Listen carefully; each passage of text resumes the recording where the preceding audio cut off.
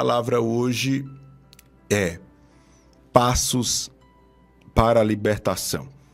Eu gostaria de usar também como subtítulo, poderíamos dizer assim, dessa mensagem, a expressão lute pela sua libertação. Lute pela sua libertação. Eu quero dizer a você que não tem como você ser feliz e viver uma vida plena se você não encontrar essa tal libertação. Essa palavra libertação, para a gente entender ela um pouquinho, a gente tem que falar da nossa liberdade. Liberdade enquanto cidadão, por exemplo. A Constituição, a nossa lei maior, nos garante o direito de ir e vir há quem diga que não faz sentido a vida sem liberdade. Por isso que nós, enquanto cidadão, devemos lutar com todas as forças pela nossa liberdade. Não há não há plenitude sem essa liberdade, não há cidadania sem liberdade, não há é, paz sem liberdade. Como? Você está preso. Você está preso. Por isso que você precisa lutar por essa, por essa liberdade. Eu começo falando assim para que você perceba o que nós estamos falando no mundo espiritual. Estamos falando sobre a libertação. Isso mesmo, estamos falando sobre a liberdade. A Bíblia ela fala de vários tipos de libertação. Mas a mais importante e fundamental é a libertação espiritual. Por isso que hoje eu estou dizendo a você: lute pela sua libertação. Lute pela sua liberdade, principalmente a sua liberdade espiritual. Quando nós falamos que a Bíblia fala sobre liberdade, eu digo a você que Cristo, ele nos libertou, olha, da condenação eterna. Cristo nos libertou do pecado e Cristo nos libertou da influência do diabo. Veja bem, essas três coisas precisam estar bem claras na sua mente para a gente avançar. Cristo nos liberta da condenação eterna, Cristo nos liberta da influência do maligno e Cristo nos liberta do pecado. Isto é, se você está aí Dá a paz do Senhor às pessoas. Dizem, você diz que é crente, mas se você está preso ao pecado, veja bem, a sua vida não faz muito sentido. Porque do mesmo jeito que aquela liberdade social, a liberdade cidadã, faz muito sentido para a nossa vida, quanto mais a espiritual. Você precisa lutar pela sua liberdade. Ah, pastor, mas é tão difícil, eu estou eu esperando aqui e tal. Olha, em nome de Jesus, eu chego aqui e essa palavra não é só você ouvir dizer amém, não. Essa palavra tem fogo. Essa palavra tem autoridade. Aleluia. E o Senhor começou essa obra na sua vida, na vida dos seus, e ele vai terminar a obra em nome de Jesus. Em nome de Jesus. Será que dá para você dizer amém aí, glória a Deus? Lute pela sua libertação. Não importa a área da sua vida, a liberdade que Cristo nos dá, ela nos livra da condenação eterna, do pecado e da influência do diabo. Olha o que está escrito lá em João, capítulo 8, versículo de número 36. João 8 e 36. Depois eu volto um pouquinho e vou ler o versículo de número 34. Diz a palavra do Senhor, João 8,36. Portanto, se o Filho os libertar, vocês de fato serão livres.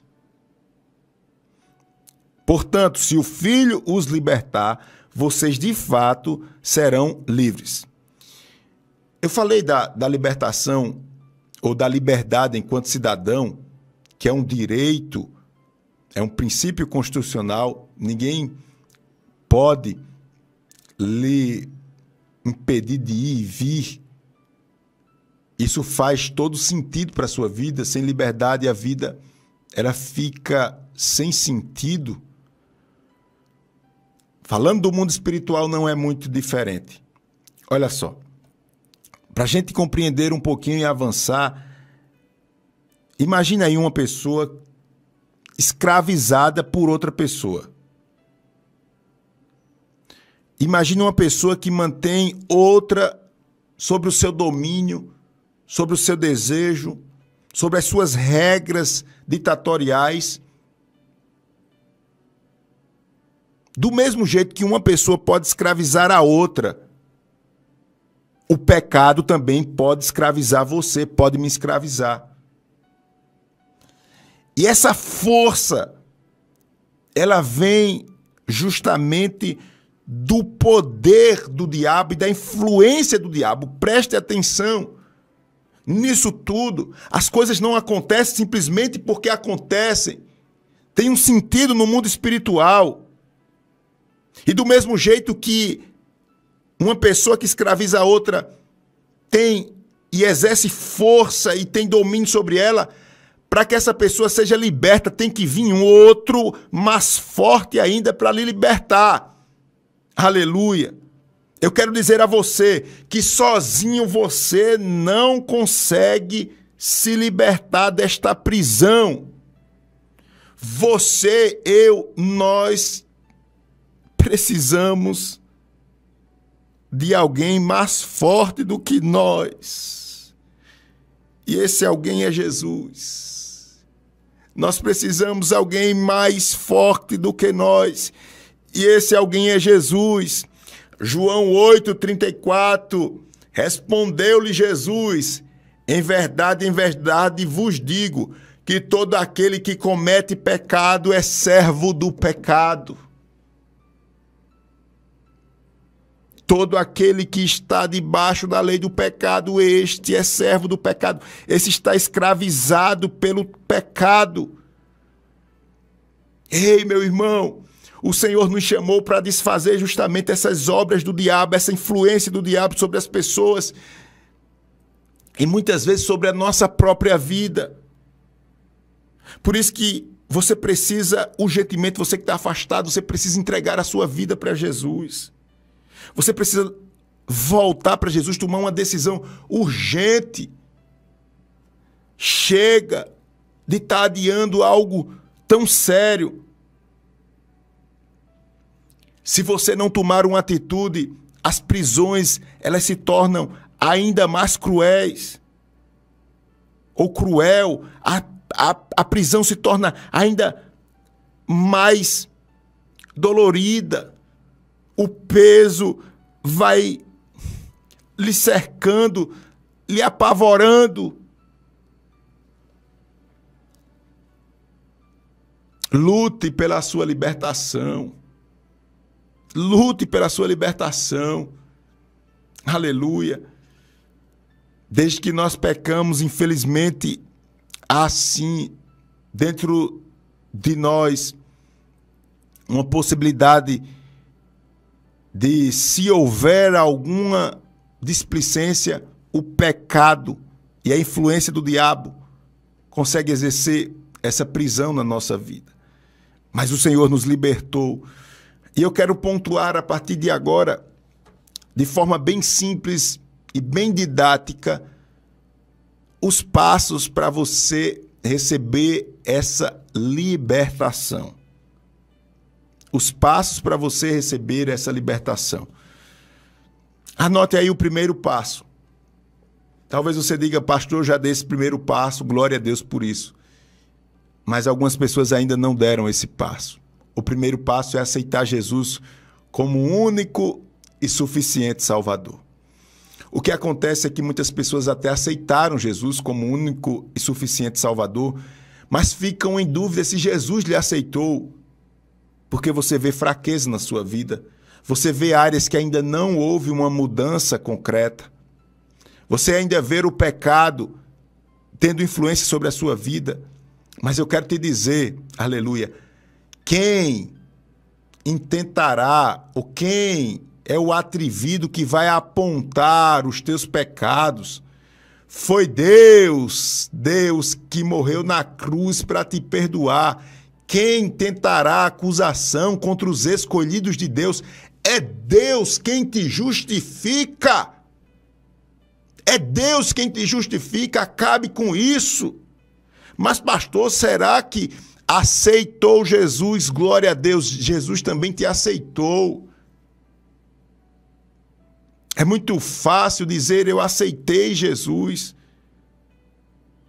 Mas você precisa não só aceitar, entre aspas, mas você precisa confiar, você precisa crer nele.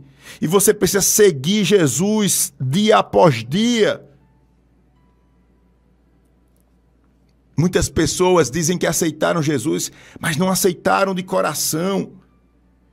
Olham para a sua vida e não vê mudança. Por isso que eu digo sempre aqui nas nossas lives, quando nós chegamos, irmãos, para ter contato com Deus, a maior transformação e que nos deixa firmado não são os milagres. Milagre não sustenta ninguém na fé. Sabe o que é que sustenta você na fé? É você olhar para dentro de você e você ver que dia após dia você está abominando o pecado. Dia após dia está tendo uma mudança na sua vida, às vezes até lenta. Você era aquela pessoa toda estourada, toda agoniada, agora você está sendo mais paciente.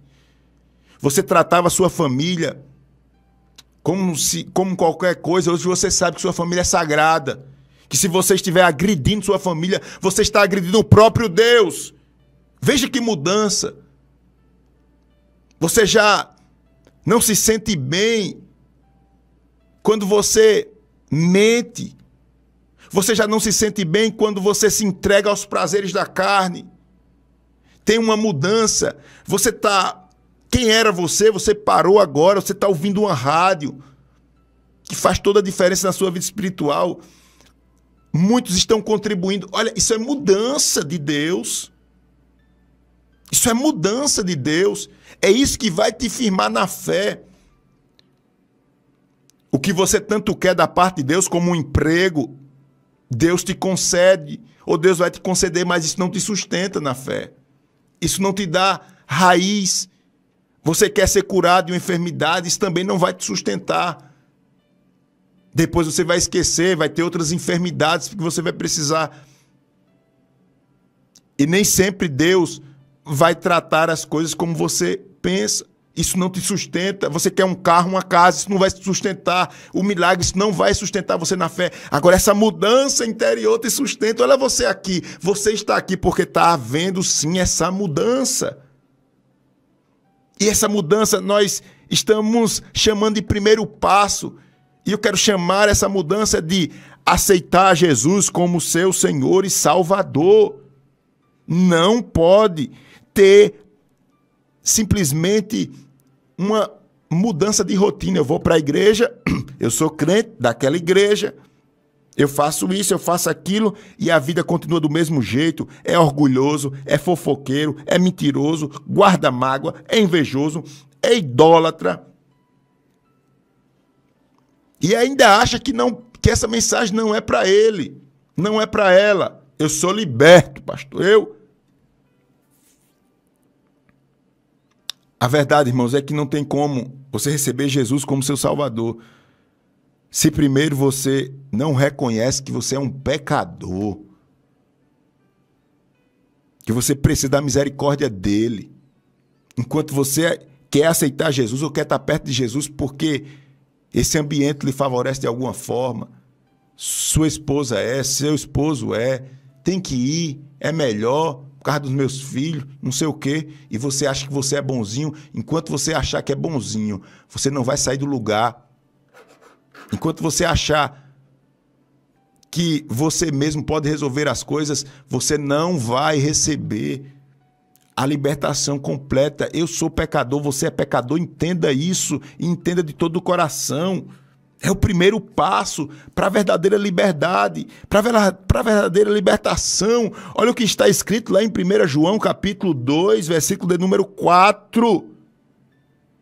O Senhor está nos chamando a abandonar aqueles maus costumes. O Senhor está nos chamando a virar as costas para o pecado. O Senhor está nos chamando a obedecer a Sua palavra. E isso significa a gente negar os nossos desejos, os nossos apetites. Deixa eu correr aqui para a gente orar. Eu vou ler aqui, a gente ora. E guarde esse primeiro passo. Aceite Jesus. De verdade. Acabe com esses mal costumes que de vez em quando quer agarrar a nossa vida.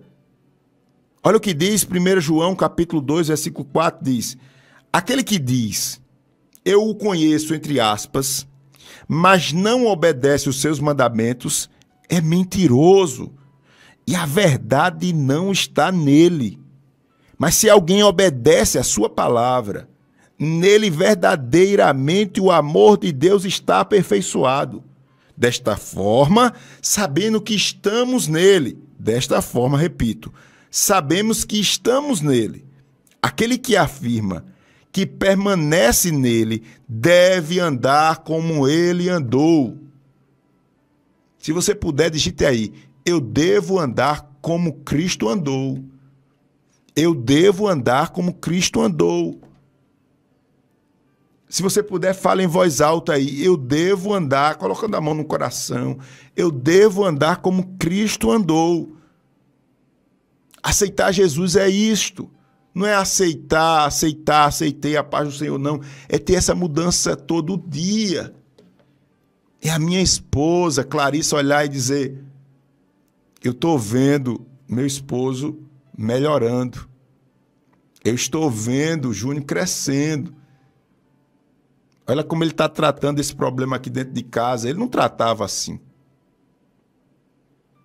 Isso sim é poder de Deus que nos liberta das amarras e das prisões de influência diabólica, do pecado e da condenação eterna. Eu devo andar como Cristo andou.